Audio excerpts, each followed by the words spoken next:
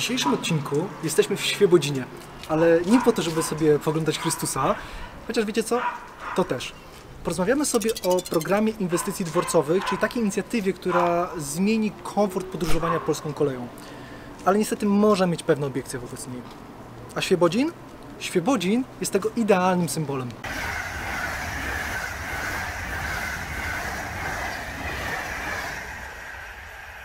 Polsce mamy 555 czynnych dworców w posiadaniu PKP-SA.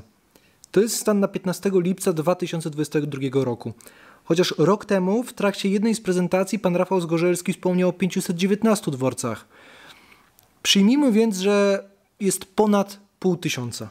Do tego dochodzi jeszcze ponad 400 budynków dworcowych w posiadaniu samorządów lokalnych, jednak o tych w dzisiejszym odcinku nie będzie. Skupimy się na tych pół tysiącu dworców w posiadaniu spółki matki, czyli PKP-SA, bo one od 6 lat są masowo modernizowane. Podzielmy sobie ten odcinek na trzy części. Pierwszą taką obiektywną oraz drugą, która będzie składała się z dwóch części, gdzie będą pozytywy i negatywy tego programu, ok? Więc pierwsza część, suche fakty. Program inwestycji dworcowych, bo taka jest nazwa tej masowej modernizacji, o której mówiłem wcześniej, e, w skrócie PIT. To jest program, który zakłada mm, przebudowę 190 dworców na terenie kraju, biorąc pod uwagę te 519 lub 555, o których mówiłem wcześniej, jako całość tych wszystkich dworców w zarządzaniu mm, PKP SA, tej spółki matki, to jest mniej więcej 1 trzecia wszystkich dworców w Polsce. Program inwestycji dworcowych trwa od 2016 roku i będzie trwał do 2023 roku, chociaż już w tym momencie wiadomo, że część prac nie zakończy się w tym roku 2023 oczywiście. Program jest dofinansowywany z funduszy unijnych, no oczywiście, no bo jak żeby inaczej. Siema cupciaki, nadal czekam na dofinansowanie na BMW, nieważne. Są to dofinansowania z programu operacyjnego Infrastruktura i Środowisko, w skrócie POIŚ, mm, oraz regionalnego programu operacyjnego RPO, i Programu Operacyjnego Polska Wschodnia POPW.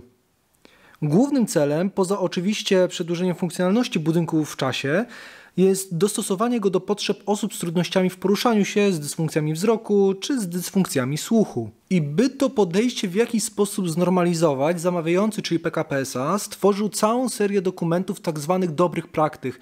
Nie szukajcie ich w necie, bo nie znajdziecie. One są udostępniane przy przetargach lub realizacji zadań osobom prawnym biorącym w nich udział. To, co mogę Wam o nich powiedzieć, e, to to, że one są bardzo ściśle opisane, mniej więcej na poziomie tych wytycznych pelkowych i to jest na plus, bo pozwala nałożyć jednolite założenia na dworce, których architektura, wiek czy kubatura mogą przecież e, dawać inne możliwości aranżacji. To są zupełnie inne obiekty. Kolejna niewątpliwa zaleta jest to skala tego programu. Jedna trzecia wszystkich dworców w Polsce. Niewyobrażalny zakres prac. Naprawdę zmieni to postrzeganie budynków dworcowych e, przez podróżnych e, naprawdę na lata. A gdzie my w ogóle jesteśmy i dlaczego konkretnie tutaj? Dlaczego rozmawiamy dzisiaj o Świebodzinie? No cóż, jest to stacja na linii kolejowej numer 3. Mm, kiedyś, dawno temu, y, to była pruska magistrala łącząca Poznań z Frankfurtem nad Odrą i dalej z Berlinem. Stacja powstała tutaj w 1870 roku, więc jest to naprawdę kawał historii. Dworzec, który widać za mną i który jest przedmiotem niejako naszych dzisiejszych rozważań, powstał dwa lata później, w 1872 roku. Postanowiono, że będzie on włączony w program inwestycji dworcowych. Prace na dworcu zaczęły się w zeszłym roku. W ramach prac do odnowy przeznaczono typowo pruską elewację z żółtej i czerwonej cegły. Do wymiany będzie stolarka okienna, dach e, i wnętrza. A jeśli już mowa o wnętrzach, będą oczywiście dostosowane do wszelkich możliwych wymagań TS i PRM Spoko, tylko że idzie to jak po grudzie. Pracę za 11 milionów złotych wzięła spółka KWK z Bydgoszczy. I tak w trakcie realizacji prac e, zamawiający skarżył się na bardzo niskie ich tempo. W, na półmetku prac, e, gdzie ten robót powinno wynosić 50%, wynosiło około 5%.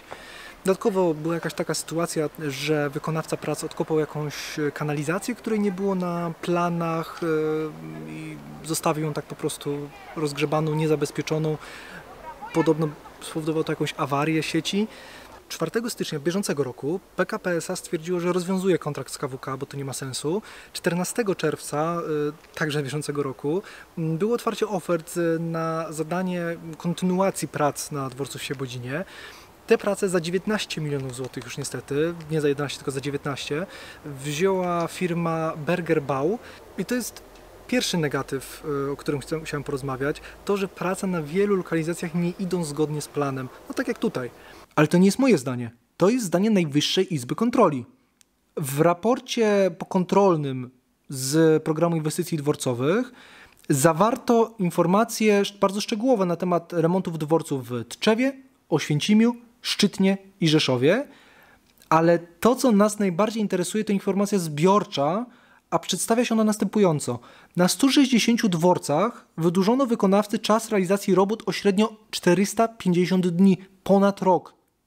Wpływa to oczywiście na końcowy termin oddania inwestycji. Na 85 dworców planowanych do otwarcia do 30 czerwca 2021 roku otwarto 37. Najwyższa Izba Kontroli zaznacza, że planowe zakończenie programu w 2023 roku jest bardzo trudne do utrzymania, wręcz niemożliwe. I co ja tutaj mogę skomentować? No wszystko... O, nie, nie, nie, nie, nie, nie, nie. Nie będę strać do własnego gniazda. Jedną rzecz jeszcze tylko dopowiem tak z mojego doświadczenia. Wcale nie jest prosto uzyskać przedłużenie realizacji inwestycji. Muszą wystąpić tak zwane trudności obiektywne, nieprzewidziane na etapie przetargu. No i Najwyższa Izba Kontroli w raporcie pokontrolnym przytacza te przyczyny, takie najpopularniejsze.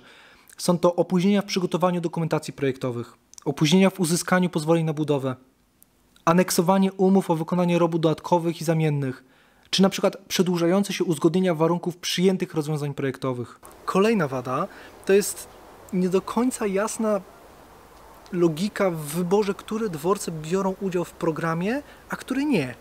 Zapytałem o tę priorytetyzację mm, zespół medialny PKPS-a. Póki co nie otrzymam odpowiedzi, ale do emisji tego materiału jeszcze jakieś dwa tygodnie będą, więc e, jeżeli cokolwiek się w tej sprawie zmieniło, no to teraz się pojawię z domu i Wam o tym powiem. Tak, owszem, dostałem odpowiedź. Jak zawsze dziękuję wszystkim, którzy brali udział w jej przygotowaniu. Ja to bardzo doceniam, jest to bardzo dla mnie ważne. Ale nie, żeby ta analiza jakoś e, moje wszelkie wątpliwości rozwiewała. Zresztą ja Wam przeczytam. To jest cytat z maila, który ja otrzymałem w odpowiedzi na moje zapytanie. Wśród wielu kryteriów branych pod uwagę jest m.in. dobowa wymiana pasażerska. Analiza wymiany pasażerskiej jest kluczowym czynnikiem przy analizach efektywności ekonomicznej i podejmowaniu decyzji inwestycyjnej. Ocena stanu technicznego, krajowy lub regionalny węzeł transportowy, forma ochrony zabytku. Oceniane są również potrzeby społeczne sygnalizowane w formie wystąpień do PKP SA o objęcie danej lokalizacji działaniami inwestycyjnymi. Analizie podlega aktualny rodzaj ruchu oraz dane dotyczące planowanych zatrzymań. Zasadność realizacji poszczególnych inwestycji ze względu na inne projekty komplementarne, w tym w zakresie modernizacji sieci linii kolejowych, przy których położone są dworce. Stanowi to istotne kryterium przy formułowaniu zamierzeń inwestycyjnych w odniesieniu do nieruchomości dworcowych, umożliwiające zapewnienie efektywności ekonomicznej zadania i ewentualne dofinansowanie inwestycji. Znaczy, żebyśmy się dobrze zrozumieli, ja te wszystkie mm, parametry, wszystkie kryteria jak najbardziej rozumiem, one są bardzo rozsądne. Tylko nie do końca, wiecie, widzę ich przełożenie na rzeczywistość. Wielkoszywice. A skoro już przy innowacyjnych dworcach systemowych jesteśmy. Moim zdaniem to jest ostatnia belka w oku tego programu. I mam pewien dysonans, jeśli chodzi o IDS-y, wiecie, bo z jednej strony mamy typ B, czyli ten większy, ten z przeszkoloną i zamkniętą poczekalnią, no to jest coś wspaniałego. Prosta forma, której więcej nie potrzeba. Jest toaleta, zadaszenie, jakieś e, stojaki rowerowe zazwyczaj, dwa pomieszczenia techniczne, w których wszystko się mieści, pomieszczenie kasowe, poczekalnia oczywiście. Użytkowej architektury jest to mistrzostwo świata, mistrzostwo. Jednakże PKP forsuje także wersję uproszczoną tego rozwiązania, czyli typ A. Czym to się różni? No właściwie niczym, poza faktem, że nie ma pomieszczenia przeznaczonego na kasę biletową, a poczekalnia jest otwarta. Rozumiecie, zima, śnieg pada bokiem, minus 30, a my czekamy na pociąg w otwartej poczekalni, która ma jedynie grzejniki podwieszone do sufitu. Nie różni się to niestety także ceną. Spadek funkcjonalności jest ogromny, to chyba wszyscy potrafimy obiektywnie ocenić. Spadek ceny jest z rzędu 500 tysięcy złotych, czyli to jest mniej więcej 12% wartości. Chyba jakiś odcinek o tym już zdążyłem nagrać, nie? Gdzieś tutaj się może wyświetla. Jeszcze jedną rzecz na koniec chciałem wyjaśnić. To, że ja tak dużo czasu antenowego w tym odcinku poświęciłem na wytykanie błędów programu inwestycji dworcowych, zresztą ja poświęciłem, kim ja jestem, żeby te błędy wytykać.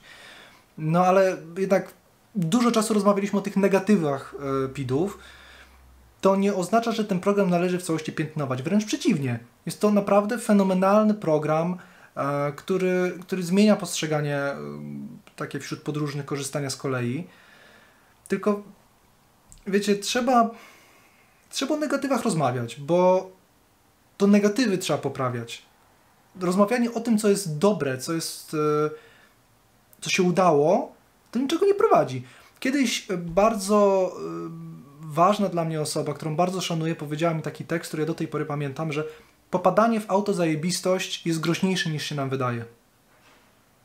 Więc sami widzicie, program inwestycji dworcowych to jest naprawdę kawał fajnej roboty. To jest kolejny przykład na to, że na polskiej kolei się komuś coś chciało zrobić i wdrożył to w działanie.